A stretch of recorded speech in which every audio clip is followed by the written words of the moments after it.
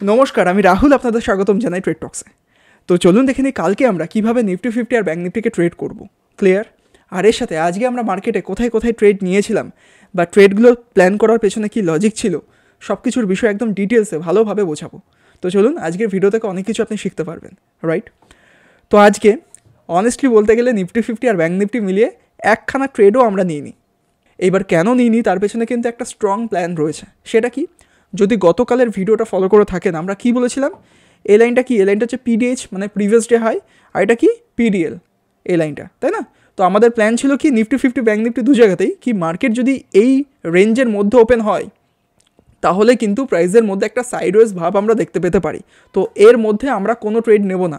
Trade কখন নেব, যখন দেখব প্রাইস উপরে যাবে, যাওয়ার পর এখান থেকে রেজিস্ট্রেস নেবে, আমরা সেলিং সেলিং করতে পারি। বা এখানে এসে টাইম পাস করার পর যদি ব্রেকআউট দেয়, আমরা বাইং করতে পারি। ঠিক সেরকমই যদি প্রাইস নিচের দিকে, এসব জায়গায় ওপেন হওয়ার পর নিচের দিকে ফল করে, এই লোটাকে যদি সাপোর্ট তৈরি করে মার্কেট উপরের দিকে যাওয়ার চেষ্টা করে, আমরা বাইং করব। আবার ঠিক নিচে ফল করার পর যদি এই লোকে কিছুক্ষণ টাইম পাস করার পর ব্রেকডাউন দেয়, আমরা কিন্তু সেলিং করতে পারি। তো আমাদের এই দুখানা প্ল্যান ছিল ফ্ল্যাট ওপেনিংয়ের ক্ষেত্রে। তো দেখুন প্রাইস কী করেছে? প্রাইস কিন্তু ফ্ল্যাট ওপেন হওয়ার পর এখানে অনেকক্ষণ টাইম পাস করছিল। তো যতক্ষণ টাইম পাস করছিল, ততক্ষণ আমরা আমাদের টেলিগ্রাম গ্রুপে কিন্তু এক এক করে সব কিছু মেনশন করছিলাম যে আমরা কী করব, বিভিন্ন ভয়েস মেসেজ বা স্ক্রিনশটের মাধ্যমে কিন্তু এক এক করে দেখুন সব কিছু শেয়ার করছি যে দেখুন প্রাইস কিন্তু এখানে টাইম পাস করছে। তো এর মধ্যে বারবার ট্রেড করে কোনো লাভ নেই বরং সেখানে স্টপ লস হিট হওয়ার চান্স থাকবে। প্রপার জায়গায় আসুক প্রপার আমাদের এরিয়াতে আসুক ট্রেড নেওয়ার তখন গিয়ে আমরা ট্রেড নিতে পারব, তাই না? এইবার দেখুন, এখানে একটা লেটেস্ট জিনিস আছে, সেটাকে বুঝতে হবে। ফিফটিন মিনিট টাইম ফ্রেমে আমরা কী দেখছি? প্রাইস কিন্তু এখান থেকে এক, দুই, তিন, চার, পাঁচ, ছয়, সাত। মানে ব্যাক টু ব্যাক ছয়, সাতখানা ক্যান্ডেল তৈরি করতে করতে এই পিডিএল মানে প্রিভিয়াস ডে লোকে কিন্তু ব্রেকডাউন করে দিয়েছে। এবার আপনি একটা কথা ভালোভাবে ডিপলি ভাবার চেষ্টা করুন। যদি কোনো একটা ইম্পর্টেন্ট লেভেল পিডিএল তো অবশ্যই একটা ইম্পর্টেন্ট লেভেল পিডিএল বলুন বা পিডিএইচ সবসময় মাথায় রাখবেন একটা ইম্পর্টেন্ট লেভেল তো কোনো একটা ইম্পর্টেন্ট লেভেলকে যদি ব্যাক টু ব্যাক ক্যান্ডেলে ব্রেকডাউন করে দেয় তো আপনি কি সেখানে দুম করে কল ব্যাঙ্ক বা পুট ব্যাঙ্ক করতে যাবেন? সেটা কি করা উচিত? আমি হলে পার্সোনালি করব না। সেটা আমি কিন্তু আমাদের টেলিগ্রাম গ্রুপে দেখুন আমরা মেনশন করে দিয়েছি। এই যো, কী বলেছি আমরা? যখন এই মানে পিডিএলকে ব্রেকডাউন করতে যাচ্ছে back to back red candle তৈরি করে, তখন বলেছিলাম, এখানে কি সেল করা উচিত? দেন আমি নিজেও লিখে দিয়েছি পার্সোনালি আমি অ্যাভয়েড করব যদি ব্যাক টু ব্যাক রেড ক্যান্ডেলে পিডিএলকে ব্রেকডাউন দেয়। এবার এখানে সেল না করার পেছনেও ভালো একটা রিজন আছে, মন দিয়ে শুনুন, আশা করছি বুঝতে পারবেন। কি আছে?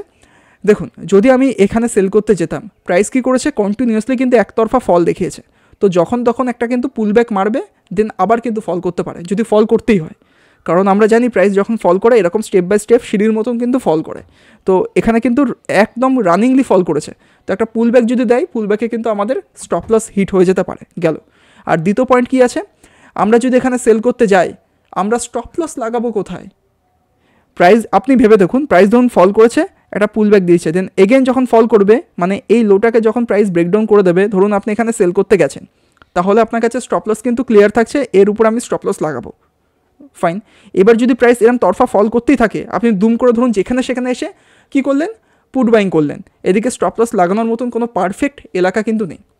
তাহলে সেখানে কিন্তু এমনিতেই আমাদের লস হওয়ার চান্স অনেক বেশি থাকবে। মানে আলটিমেটলি এখানে যে ট্রেড নেব কোনো দিক দিয়েই কিন্তু মনে হচ্ছে না। তার জন্য আমি আমাদের গ্রুপে মেনশন করে দিয়েছি, আমরা এখানে ট্রেড নেওয়াটাকে টোটালি অ্যাভয়েড করছি। গেল। তারপর কি দেখলাম? প্রাইস এই যারা যারা এখানে সেল করেছিল, তাদেরকে দুখানা ক্যান্ডেলে ট্র্যাপ করেছে, বা অনেকেই আছে যারা যারা নতুনভাবে এখানে সেল করেছে, কারণ এখানে রেড ক্যান্ডেল কীভাবে তৈরি হয়েছে? অবশ্যই যারা যারা অনেকেই আছে যারা সেল করেছে, তার জন্য তো তৈরি হয়েছে। তো তাদেরকে দেখুন ট্র্যাপ করা মাত্রই ইমিডিয়েটলি একটা ভালো বুইশ অ্যাঙ্গেলফিং ক্যান্ডেল দিয়ে তৈরি করে মার্কেট আবার উপরে চলে গেছে। তো আমরা এখানে যেহেতু সেল করিনি অ্যাটলিস্ট আমরা আমাদের পয়সা কিন্তু কি করতে পেরেছি? সেভ করতে পেরেছি। তারপর কি করেছে? প্রাইস কিন্তু একটা ভলাটিলিটি শো করে কিন্তু এখানে ক্লোজিং দিয়েছে। ফাইন তো এরকম প্রাইস অ্যাকশানে কিন্তু আজকে আমরা কোনো ট্রেড করতে পারিনি আর ট্রেড নিও নেই তো চলুন এবার দেখিনি যে কালকে আমরা কীভাবে নিফটি ফিফটিতে ট্রেড করব। তারপর দেখে নেব ব্যাঙ্ক নিফটিতে কীভাবে করব রাইট তো সবার প্রথমে কি করব? সবার প্রথমে সমস্ত ড্রয়িং আমরা ডিলিট করে দেবো এখানে। কারণ সমস্ত ড্রয়িং আর দরকার নেই। ফ্রেশভাবে আমরা করব। ওকে তো দেখুন এখানে সিম্পল একটা ট্রেন লাইন আমরা বারবার বুঝতে পারছি যে ট্রেন লাইনকে কিন্তু প্রাইস অলমোস্ট চারবারের কাছাকাছি কিন্তু টাচ করে নিয়েছে। তো আমরা জানি কোনো একটা লেভেলকে যখন বারবার হিট করে, বারবার হিট করে, সেটা কিন্তু ব্রেকআউট হওয়ার সম্ভাবনা অনেক বেশি থাকে। তাই না? তো এই ট্রেন লাইনটাকে কিন্তু অবশ্যই আপনি আপনার চার্টে ড্র করে রাখবেন। ঠিক আছে? ফাইন আর নিচের দিকে সাপোর্টের যদি কথা বলা হয়, আজকের দিনের সাপোর্টটা হচ্ছে নিচের দিকে সাপোর্ট তারপর এত নিচে আছে দেন এত নিচেও আছে। ফাইন তো কালকে যদি প্রাইস এইসব জোনের মধ্যে ওপেন হয়ে এখানে ঘোরাফেরা করে। এর মধ্যে যতক্ষণ ঘোরাফেরা করবে, ততক্ষণ কিন্তু আমরা কোনো ট্রেড নেব না। কারণ এর মধ্যে ট্রেড নেওয়া মানে বোকামো রাইট তো ট্রেড নেব কখন? যখন দেখব প্রাইস এই যে ট্রেন লাইনটা আছে, যেখানে একবার, দুবার, তিনবার, চারবারের কাছাকাছি টাচ করেছে, এই ট্রেন লাইনটাকে ভালো একটা বুলিশ ক্যান্ডেলে ব্রেকআউট দেবে, তখন কিন্তু আমরা এখানে বাইং করতে পারি। ভালো একটা বুলিশ ক্যান্ডেল কিন্তু ক্লোজ দিতে হবে, তারপরেই বাইং করবেন।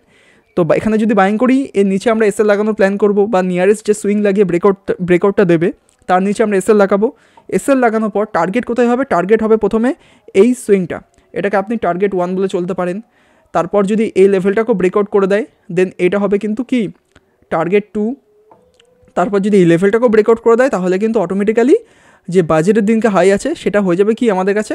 টার্গেট থ্রি তো কখন আমরা বাই করব? যখন দেখব এই ট্রেন লাইনটাকে প্রাইস একটা ভালো বুলিশ ক্যান্ডেলে ব্রেকআউট করে দিচ্ছে তখন।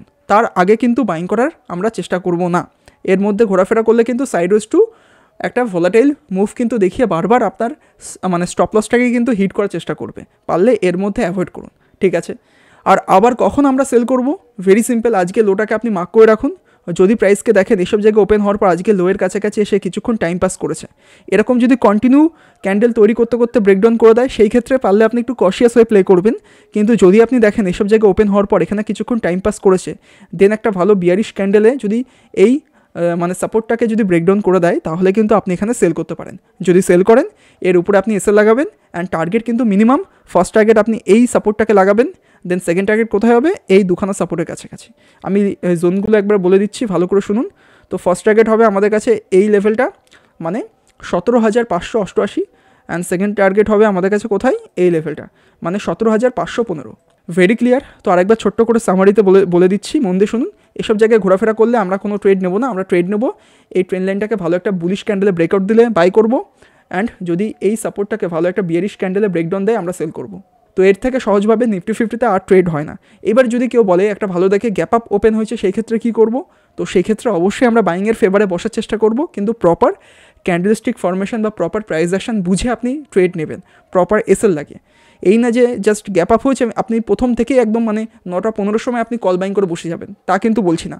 হয়তো মার্কেট উপরের দিকে যেতেও পারে নো প্রবলেম বাট প্রপার কিছু রুলস আর ডিসিপ্লিনের সাথে ফলো করবেন। যদি গ্যাপ আপ হয়, তখন আপনার কাছে নিয়ারেস্ট সাপোর্ট কোথায় হবে? সাপোর্ট কিন্তু এই সাপোর্টটা হয়ে যাবে। তো দেখবেন যদি সাপোর্টের কাছাকাছি এসে সাপোর্ট ফেস করে বা ভালো একটা বাইংয়ের জন্য আমাদের সিগনাল দেয়, তারপর গিয়ে আপনি কিন্তু বাইং করতে পারেন। ক্লিয়ার আর এখানেও যদি একটা ভালো দেখে গ্যাপ ডাউন হয়, তো সেই ক্ষেত্রে পারলে আপনি অ্যাভয়েড করবেন। কেন বলছি? তখন এই জোনটা হবে রেজিস্ট্যান্স আর এই জোনটা হবে সাপোর্ট তখন কিন্তু এর মধ্যে প্রাইস ঘোরাফেরা করে ক্লোজিং দিতে পারে। তো সেই ক্ষেত্রে অ্যাভয়েড করাটা সব থেকে বেটার আমি মনে করি। ওকে তো চলুন এবার দেখে নিই ব্যাঙ্ক নিফটিতে কালকে আমরা কীভাবে ট্রেড করব। তো দেখুন ব্যাঙ্ক নিফটিতেও ভেরি সিম্পল থাকবে প্ল্যান সবার প্রথমে আজকের দিনে লোটাকে আমরা মার্ক করে নেব দেন আজকের দিনের হাইটাকে আমরা মার্ক করে নেব। ওকে তো প্ল্যান পুরো সিম্পল থাকবে, যদি প্রাইস এর মধ্যে ওপেন হয়ে, এখানে ঘোরাফেরা করে, আমরা কিন্তু কোনো ট্রেড নেব না। পার্সোনালি আমি কিন্তু কোনো ট্রেড নেব না। ট্রেড নেব কখন? যখন দেখব প্রাইস আজকের লো আর আজকের হায়ের কাছাকাছি আসবে। আসার পর যদি দেখি যে এখানে কিছুক্ষণ টাইম পাস করেছে দেন একটা ভালো বুলিশ ক্যান্ডেলে যদি ব্রেকআউটটা দেয়, তাহলে আমরা এখানে বাইং করব, ছোট্ট একটা এসএল লাগাবো অ্যান্ড টার্গেট হবে মিনিমাম বাজেটের দিনকে যে হাই লাগিয়েছে, সেটা কিন্তু আমার কাছে ফার্স্ট টার্গেট হবে। তারপর দেখব যে মার্কেট এখানে কিছু, কীরকমভাবে প্রাইস অ্যাকশন বা কীরকম ক্যান্ডেলস্টিক ফর্মেশন তৈরি করছে। যদি এই লেভেলটাকে ব্রেকআউট দেয়, তখন কিন্তু আমরা ট্রেলিং এসে লাগিয়ে ম্যাক্সিমাম তখন বড় বড় টার্গেটের জন্য ওয়েট করে বসে থাকতে পারি। ঠিক আছে? কিন্তু কখন আমরা বাইং করব? যখন দেখব আজকের হাইটাকে ভালো একটা বুলিশ ক্যান্ডেলে ব্রেকআউট দিচ্ছে তখন। এর আগে, এর মধ্যে ওপেন হয়েছে দুম করে কল বাইং করার দরকার নেই। কারণ এর মধ্যে ওপেন হলে কিন্তু প্রাইস এরকম সাইডওয়েজ টু ফলাটাইল বিহেভ করতে পারে। সেই কারণে কিন্তু আপনার এসএল হিট হতে পারে। তো সেটা আমার মনে হয়, তার জন্য আমি এই জায়গাটাকে টোটালি অ্যাভয়েড করব। ঠিক আছে? আর আবার যদি প্রাইস এসব জায়গায় ওপেন হওয়ার পর নিচের দিকে ফল করে, তাহলে আজকে যেখানে সাপোর্ট তৈরি করার পর ভালো একটা বুলিশ এঙ্গেল ফিল্ম ক্যান্ডেল তৈরি করে যে মার্কেট উপরে গেছিল, তো এই লেভেলের কাছাকাছি আমি চুপচাপ বসে থাকব যে এর কাছাকাছি প্রাইস আসুক, আসার পর দেখব যে এখানে কীরকম কী ক্যান্ডেলস্টিক ফরমেশন দেখাচ্ছে।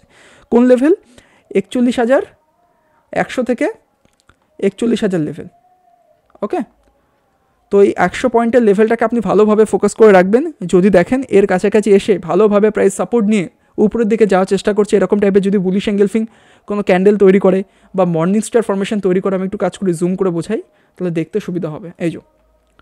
তো এরকম টাইপের যদি কোনো বুলিশ অ্যাঙ্গেলফিং ক্যান্ডেলস্টিক ফরমেশন তৈরি করে বা মর্নিং স্টার ফরমেশন তৈরি করে বা ডাব্লু প্যাটার্ন তৈরি করে, তাহলে কিন্তু ছোটোখাটো এসএল লাগিয়ে আপনি বাইং করতে পারেন। যদি বাইং করেন, আজকে যেখানে হাই লেগেছে, সেটা হবে আপনার ম্যাক্সিমাম টার্গেট ঠিক আছে? তো কীভাবে বাইং করবেন? যদি প্রাইস এসব জায়গায় ওপেন হওয়ার পর নিচে ফল করে আপনি কিন্তু পুট বাইং করতে যাবেন না।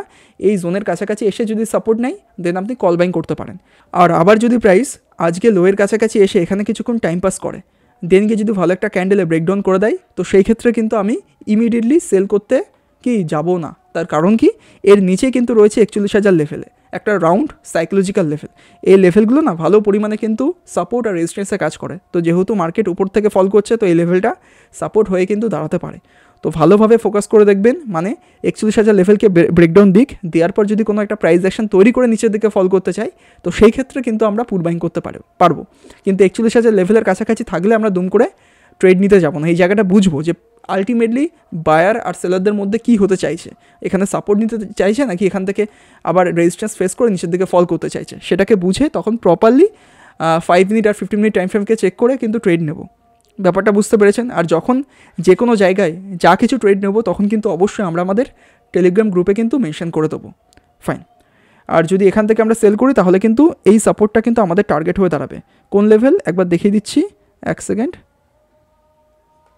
ওই ধরুন চল্লিশ হাজার সাতশোর কাছাকাছি, এটা আমার কাছে টার্গেট হয়ে দাঁড়াবে। ঠিক আছে? আর এবার যদি কালকে কোনো কারণে একটা গ্যাপ আপ ওপেন হয়ে যায়, তাহলে কি হবে? তাহলে দেখুন মার্কেট কিন্তু অটোমেটিক্যালি বিয়াল্লিশ হাজার লেভেলের কাছাকাছি ওপেন হয়ে যাচ্ছে। প্রথম কথা, বিয়াল্লিশ হাজার লেভেল একটা রাউন্ড সাইকোলজিক্যাল নাম্বার তো এটার কারণে এখানে কিন্তু রেজিস্ট্যান্স ফেস করতে পারে। তাছাড়াও বাজেটের দিনকে কিন্তু এখান থেকে একটা শার্প ফল দেখিয়েছে। তো প্রাইস যখন ফার্স্ট টাইম এর কাছাকাছি আসবে, অবশ্যই এখানে কিন্তু একটা রেজিস্ট্যান্স ফেস করতে পারে।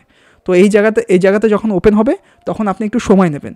সময় নিয়ে দেখবেন যদি এখানে কোনো একটা ভালো বুল ট্র্যাপ ক্যান্ডেল তৈরি করে বা একটা বিয়ারিশের সাইন দেখায় ছোটোখাটো দেন একটা ছোটোখাটো এসএল লাগিয়ে কিন্তু সেলিংয়ের পথে বসতে পারেন। যদি সেল করেন, তাহলে একচল্লিশ হাজার ছশো মানে এই লেভেলগুলো কিন্তু আপনার কাছে টার্গেট হয়ে দাঁড়াবে।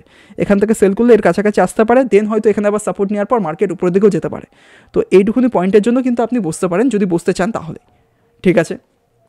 আর আবার যদি কি বলে, যদি গ্যাপ ডাউন ওপেন হয় তাহলে কী করব? তাহলেও আজকে যেখানে সাপোর্ট নেওয়ার পর মার্কেট উপরে গেছে, তো এই জোনটা কিন্তু আমার কাছে ভেরি ভেরি ইম্পর্টেন্ট হয়ে দাঁড়াবে।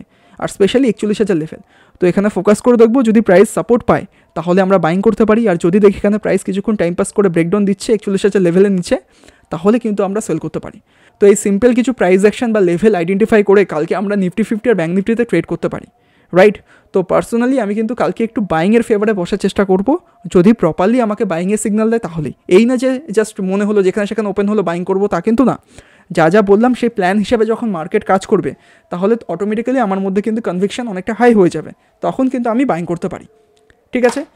তো আজকের জন্য এইটুকুনি। আশা করছি ভালো লাগল। তো যদি ভিডিওটা ভালো লেগে থাকে যদি সব কিছু আপনি সহজভাবে বুঝে থাকেন, তাহলে প্লিজ ভিডিওটাকে লাইক শেয়ার কমেন্ট করে দেবেন। আর আমাদের চ্যানেলে নতুন হয়ে থাকলে কিন্তু চ্যানেলটিকে সাবস্ক্রাইব করতে একদম ভুলবেন না। আর এর সাথে যদি আপনি আমাদের টেলিগ্রাম গ্রুপে জয়েন হতে চান, তাহলে ভিডিও ডিসক্রিপশনে দেখুন লিঙ্ক দেওয়া আছে বা স্ক্রিনে দেখুন একটা হোয়াটসঅ্যাপ নাম্বার দেওয়া আছে, সেখানে একটা মেসেজ করুন, আপনাকে টেলিগ্রাম গ্রুপে জয়নিংয়ের লিঙ্কটা প্রোভাইড করা হবে।